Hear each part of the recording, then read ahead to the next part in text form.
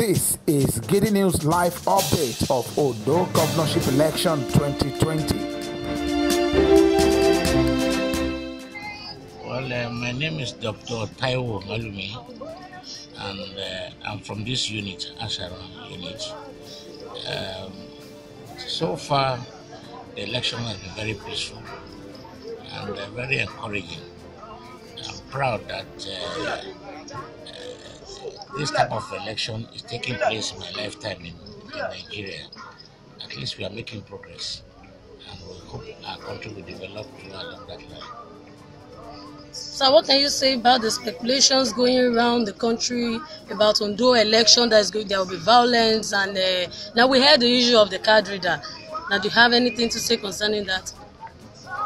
Ondo, Ondo people, Ondo state people are not violent, violent people. Are very peaceful people. And they were always able to manage ourselves out of any difficult situation.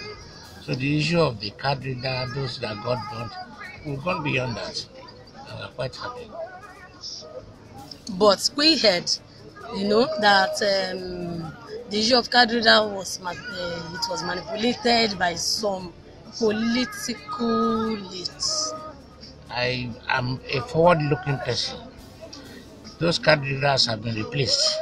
Okay. So let's leave let dogs lie. to the people, sir? My advice to the people, there's hope for Nigeria. Looking at where we are coming from in year 2000, 1999, and to where we are now in terms of uh, elections. We are making progress. One day will be better than America. Amen. Amen. Yeah. Thank you.